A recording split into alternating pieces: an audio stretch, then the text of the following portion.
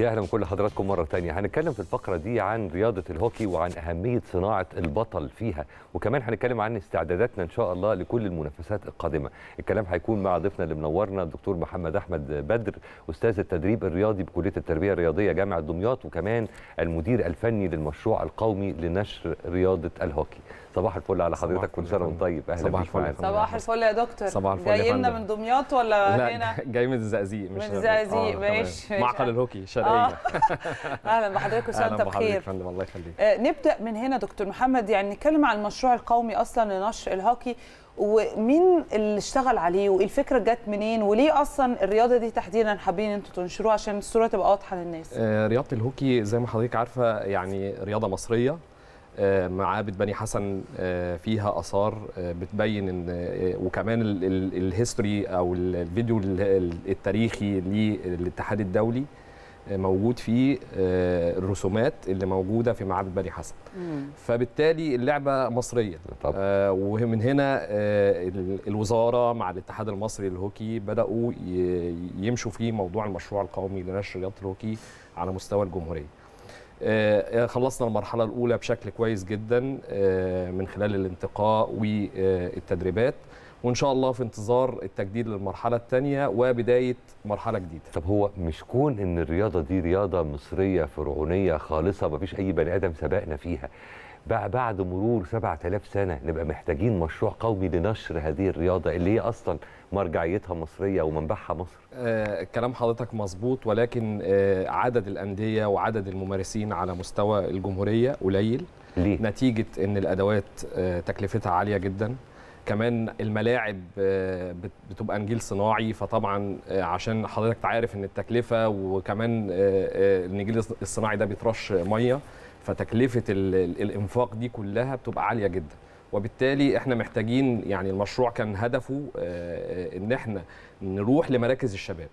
آه، وده برضك يعني تصور كويس جدا من وزارة الشباب والرياضة إن إحنا ننزل لمراكز الشباب لأن فيها بنية تحتية مناسبة لنشر الرياضة دي في الفترة الجزء اللي جاية. الأول من كلام حضرتك آه، في جانب حزين والله بكلمك جد يعني فكره فعلا فكرة عالية. إن التكلفة لرياضة تاني أرجع وأقول لك مرجعيتها مصرية يعني المفروض نبقى إحنا الرواد فيها فبالتالي إحنا المهيمنين فيها عالميا يبقى إحنا عندنا مشكلة في إن إحنا ن- نعمل ملاعب نجيل صناعي ونسقيه مية لا؟ هو هو المشكلة مش الملعب المشكلة ال- المضرب أو العصاية والكورة العصاية والكورة ما بتصنعوش في مصر بيتصنعوا في دول آه، شرق آسيا الباكستان والهند.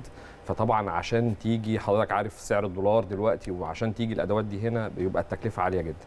فهي هو ده السبب يعني. فالاتحاد مشكورا آه، آه، بالتعاون مع وزارة الشباب والرياضة بدأوا يوفروا الأدوات دي بشكل بشكل يعني مناسب للمشروع. وبالتالي هنا الفرصة هتبقى أكبر إن عدد الممارسين يزيد. طب نشر اللعبة برضو في المحافظات والإقبال عليها هل فعلا بنسبة كبيرة ولا خلينا نقول لأ بنسبة متواضعة والله إحنا لما نزلنا المحافظات آه، عشان حضرتك تبقى عارفة بس إحنا المشروع بتاعنا آه، 20 ولد و20 بنت في كل محافظة وبالتالي العدد ده أو عدد بسيط آه، كبداية. بعد كده إحنا آه، يعني طموحنا ان إحنا نوصل لل 27 محافظة آه، على مستوى الجمهورية كلها. فبالتالي ال- الأعداد هنا مش هتبقى آه، هيبقى في ال- في ال- في المردود النهائي. يعني إحنا مثلا بدأنا الأول بخمس محافظات.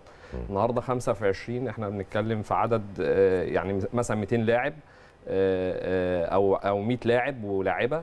النهارده إحنا بنتكلم في في في عدد آه، مش مش كبير قوي ولكن أكبر من- كبداية آه كبداية آه، كويس. طب هو بالمناسبة حضرتك بتقول لنا من شوية إن أنت جاي من الزقازيق عشان كنت مع فريق الشرقية. تمام. إيه سر تألق فريق الشرقية في الهوكي؟ يعني دايما لما لما بنتكلم عن الهوكي في مصر يتبادر للذهن على طول فريق الشرقية اشمعنى ال- الشرقية آه، عبارة عن مدينة صغيرة آه، كل ال- ال- الولاد والبنات هناك آه، اللي بيلعبوا هوكي من أسر يعني يعتبر قرايب كلهم. فده السر يعني السر مش مش بعيد خالص. إن كل اللي بيلعبوا قرايب فبالتالي أنا بجيب أخويا أخويا بيجيب ابن عمه كده فالموضوع أسري أكتر برضه عائلي. آه أكتر منه آه، حاجة تانية.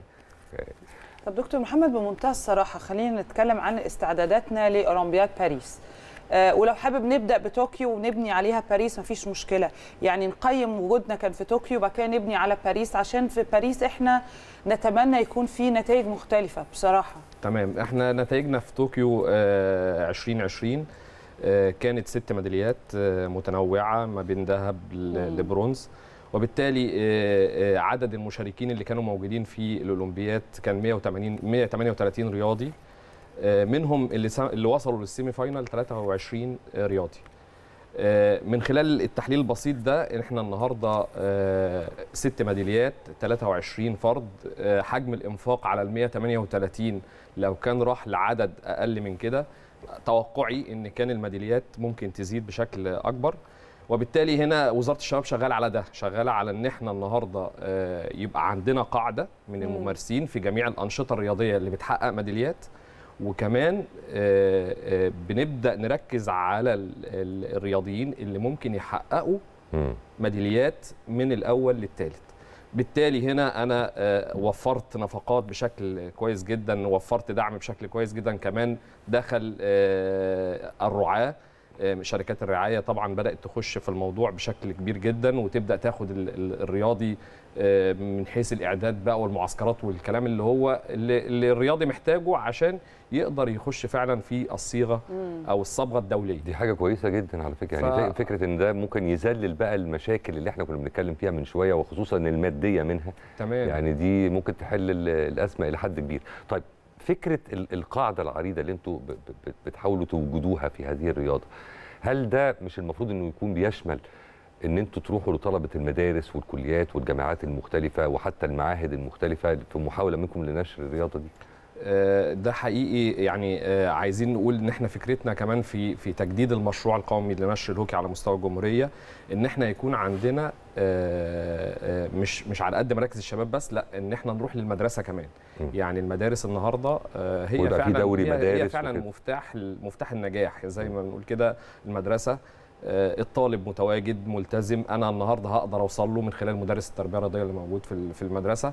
فبالتالي آه، النظامية هنا موجودة. كل اللي هنحتاجه بس إن إحنا نوفر له الملعب بشكل مهيأ والأدوات بشكل مناسب وهنلاقي النتيجه أكيد مختلفة خالص يعني. طب إيه بقى المشاكل؟ يعني إيه المشاكل؟ إيه العكوسات خلينا نقولها بهذا الشكل إيه ال- النواقص اللي موجودة علشان نقدر إن إحنا نتجنبها في يعني الاولمبياد آه، كمان المختلفه شوية روتين بس إن إحنا ده- ده- الإجراءات ده آه العموم. يعني هي هي ده هي كله. الإجراءات هي الإجراءات دايما بتاخد وقت طويل جدا آه عايز أقول لحضرتك إن إحنا آه مثلا آه عشان يتجدد المشروع بشكل آه في نسخته الثانية يعني. آه، خدنا وقت طويل جدا أو لسه لسه ما خدناش الموافقة لحد دلوقتي وإحنا من خلال حضراتكم آه، بنوجه رسالة للدكتور أشرف صبحي وزير الشباب والرياضة. آه، آه، إن رياضة الهوكي رياضة آه، أولمبية. محتاجين بشكل كبير جدا إن إحنا نبص عليها ونركز معاها زي الرياضات التانية. وبالتالي إحنا نتائجنا على مستوى أفريقيا مثلا خلال الفترة اللي فاتت عندنا منتخب الناشئين مؤهل لكأس العالم في ماليزيا. عندنا المنتخب الكبير هيبدأ يشارك في في التصفيات الخاصة ب أولمبياد باريس. عندنا كمان المفاجأة منتخب السيدات في البطولة الأفريقية الأخيرة للناشئات حصل على الميدالية البرونزية وإحنا ما كانش عندنا مشاركة مم. على مستوى السيدات. الناشئات يعني. آه آه، كمان فريق الشرقية للهوكي آه، في 2019 آه، حصل على المركز الأول والبطولة الأفريقية لهوكي السيدات. فدي برضو علامات أو يعني إشارات كده بتدينا أمل إن بكرة إن شاء الله الهوكي هيبقى آه، موجود آه، بشكل أقوى. جميل. كويس جدا. طيب ال- ال- ال- المتطلبات يعني مثلا في رياضات كتير وأكيد على رأسها كرة القدم في مساحة لوجود ما يسمى بالكشافين. وبالذات كرة القدم أمرها هين بالمقارنة بغيرها من الرياضات. عشان تعرف إحنا عندنا ثقافة لعب الكورة في الشوارع والحواري وال يعني الكفور والنجوع إلى آخره. فسهل إن أنت تحط عينك على حد مميز وتاخده أو تستقطبه. طب في حالة وجود كشافين للهوكي طب هيكشفوا على المواهب إزاي؟ لأن دي مش من الرياضات اللي بتمارس ب- ب- يعني في الشوارع مثلا. هتعرفوا. منين ان ان ان الشخص ده ممكن يطلع منه بطل مستقبلي في الرياضة دي؟ هيبقى زي ما قلنا لحضرتك كده آه، موضوع المشروع ونشره ومن خلال ناس متخصصين في مثلا آه، كليات التربية الرياضية أو المدرسين اللي كانوا آه، بيمارسوا الرياضة دي جوه الكلية يقدر إن هو يعمل عملية انتقاء مبدئي وبعدين بعد كده بيحصل عملية التوجيه بقى في إن هو يمارس رياضة الهوكي بشكل آه، احترافي. آه يعني شكل احترافي أكتر آه عايز أقول لحضرتك كمان إن إحنا آه متبنيين في المشروع ده نوع من أنواع ال matrix الخاص بالمهارات الفنية و آه، المهارات ال tactical ية أو الاداءات التكتيكية. آه، مش مش كده وبس لا ده إحنا كمان مركزين على الجزء ال- ال physical اللي هو الب- ال- البدني. فأنا النهارده آه، واخد واخد الموضوع بشكل تكاملي. يعني أنا عايز أعد بطل بشكل تكاملي. آه، كمان آه، عايز أقول لحضرتك إن إحنا آه، بنتبنى ال long term development اللي هو الإعداد طويل المدى.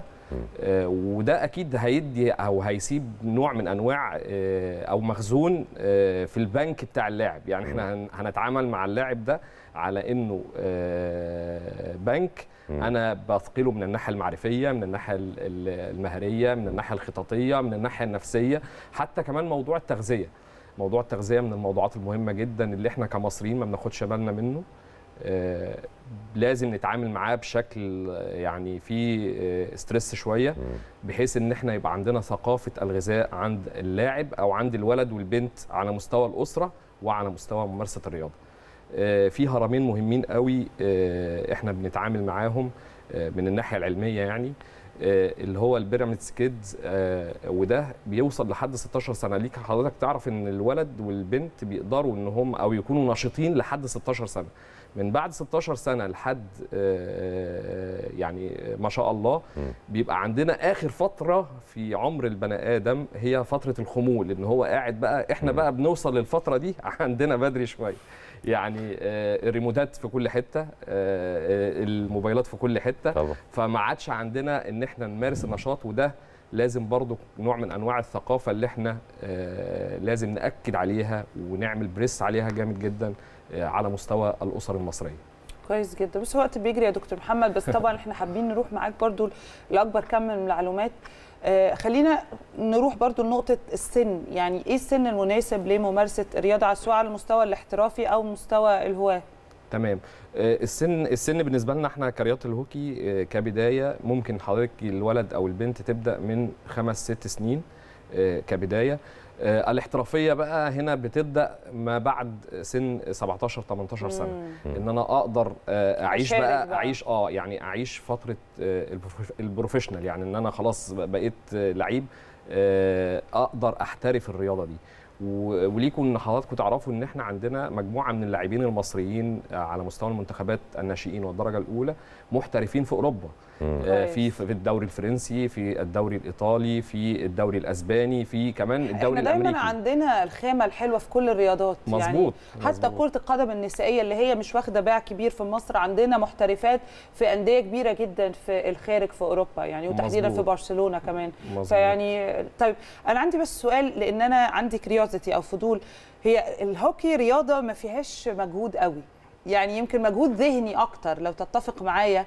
إحنا لا، بنشوف ال- لا. الصح يعني لا ناس واقفة إزاي لا فيها طب يبقى. اشرحها لنا أكتر لا هقول لحضرتك إحنا مساحة الملعب عشان حضرتك تبقي عارفة آه، 91 متر و40 سنتي كطول وكعرض آه، 55 متر هو موجود ف- في نادي الصيد بشكل كبير لا مش. آه، أنت حضرتك كده بنتكلم على هوكي آه، أنواع مثلاً- مختلفة آه ليه هو ليه أنواع مختلفة. حضرتك لازم تعرفي كمان إن الهوكي بيتلعب تحت المي- المية under under ده water جديدة دي. آه يعني يعني فاكر إن الموضوع واقف عند هوكي الجليد. لا لا لا لا لا يا راجل. آه، في في ومسابقات دولية و... مسابقات طبعا. و- ويعني في بطولة آه، اتعملت في عمان كأس العالم للهوكي الشاطئي مثلا على سبيل المثال. كمان على الرملة؟ آه أمال إيه؟ يعني وكمان أحادي العجلة. احادي العجلة إن أنا راكب عجلة بدون بدون جدون وبلعب لا ده كتير ده كتير يا دكتور محمد لا عندنا أنواع كتير جدا عندنا منه إيه في مصر إيه؟ بقى؟ آه بالظبط في إحنا. إحنا متفوقين آه، على مستوى أفريقيا في آه، الهوكي ال outdoor وال indoor آه، ال indoor إحنا حصلنا على البطولة الأفريقية ومؤهلين لكأس العالم لل indoor هي ال- الأرضية بتبقى واحدة في الحالتين؟ الأرضية واحدة بس مساحة الملعب اللي بتختلف. okay. ال- ال indoor بقى ال indoor آه، اللي هو داخل الصالات. ده okay. آه، بيبقى طبعا على ال- الماركيه بتاع ال- ال- الصالة ما عادي عندناش إحنا هوكي جليد طبعا. لا ما عندناش طبعا هوكي جليد. آه، طبعا حضرتك عارف إن ال outdoor وال indoor وال five hockey التكلفة إحنا بنتكلم في إن التكلفة عالية. النهارده بقى لما أعمل آه، آه، مكان جليدي. شوف حضرتك هيتأسس بكام. الموضوع آه، واخد ناحية ترفيهية أكتر يعني. مش هيبقى عندنا المردود بتاعه بشكل كويس. فنتمنى نتمنى زي ما بنقول لحضراتكم كده إن ال- ال- الهوكي ينتشر في جميع بجميع أنواعه على مستوى الجمهورية. وكمان بنتمنى إن النادي الأهلي يتبنى الموضوع. يعني النادي الأهلي أكبر نادي في أفريقيا.